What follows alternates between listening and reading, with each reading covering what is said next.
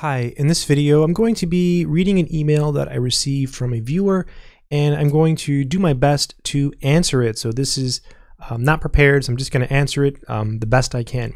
So the subject is beginning to study maths, and the question is, Hi, in one of your videos, I believe you recommended that beginners should start with discrete maths.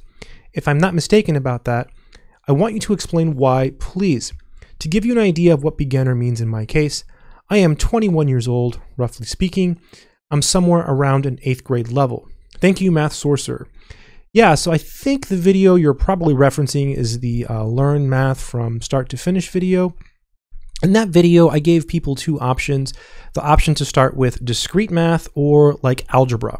And the reason I did that is because a lot of times uh, when people go back and learn math on their own, they've just they've seen so much algebra. It's just not that interesting right? They're tired of you know adding uh, rational expressions and it's just sometimes it's not as fun right? Doing the same thing over and over again.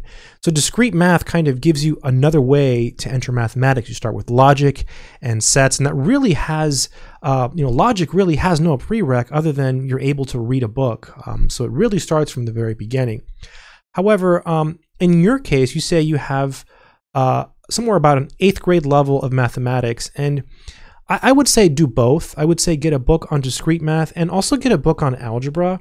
Um, I think maybe any book on like intermediate algebra would work and any book on algebra would work my advice would be to go to uh, a website maybe like bookfinder and just type in algebra and get a couple algebra books um, the one by blitzer college algebra is pretty good uh, and then just pick up uh, any intermediate algebra book and maybe a couple other algebra ones. Depending on where you live, um, it will affect the cost. Like if you live in the US, you can get books that are really cheap for like less than $10 if you're not picky. So get a bunch of books uh, on algebra, start learning some algebra, and then maybe pick up one on discrete math if you like.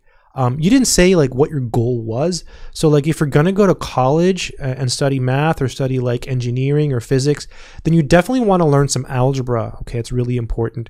Um, if you're gonna go to college and do like computer science, definitely learn some algebra, but also do some discrete math. And if you're just doing this for self study, I say just do both, right? Get some discrete math, get some algebra, learn both so you can get some variety. So when you get tired of working on algebra, you can go work on something else. I hope this has been helpful. If anyone else has uh, any advice for him on where to start or any any books you recommend, please leave a comment in the comment section below. Good luck.